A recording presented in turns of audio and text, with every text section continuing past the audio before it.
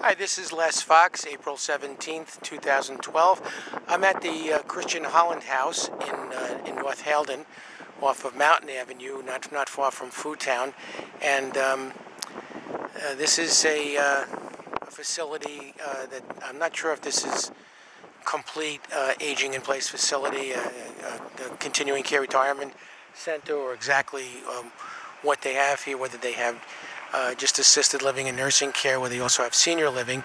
But this um, is a, a, facility that's somewhat um, similar to um, the Christian Healthcare Center, and it's a very nice community, as you could see.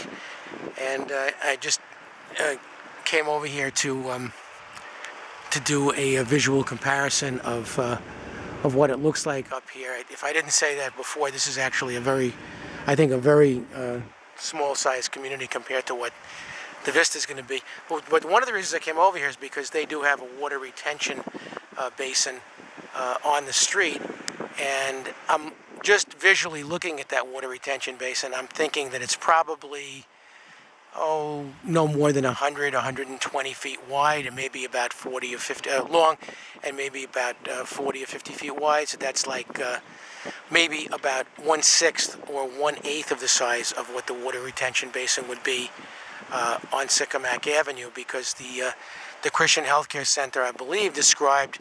Um, their water retention basin as being the size of a football field, and this certainly doesn't look anywhere near the size of a football field. I don't have the exact measurements, but um, anyway, this is what it looks like up at the, at the Christian Holland House, and uh, you know, it looks, it looks a lot like the Christian Healthcare Center. I'm going to have to go over and do a video over there one day and of, of the, uh, existing 60-acre campus because uh, the Christian Healthcare Center really does uh, very nice things for, for seniors and for, for people in need, and they have done for a very long time. And uh, just wanted to clarify, uh, in all of my videos, I, I never meant to imply in any way that the Christian Healthcare Center, as it now exists, and even if it were expanded, uh, that it's not a wonderful place.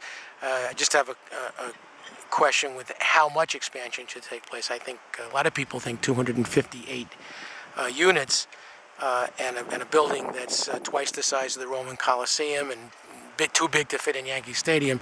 Uh, it's just a little bit, maybe a lot too big for, for the township of Wyckoff. But anyway, this is what it looks like. That's the water retention um, basin up at the Holland House. And uh, again, I mostly videotape this because I don't know what it would look like to have something maybe five or ten times that size on Sicomac Avenue, but it, it, it, it, just might be a bit much. And hopefully, I forgot what the rate of water coming off is per minute, uh, quite a bit. Um, maybe a gallon a second, or I forgot what it is. But hopefully, if they take down those 2,000 trees, um, that water retention basin does uh, prevent flooding, which uh, I'm sure sooner or later, if it's properly engineered, it would. But anyway, this is what it's like at the um, at the Holland House in North Haledon.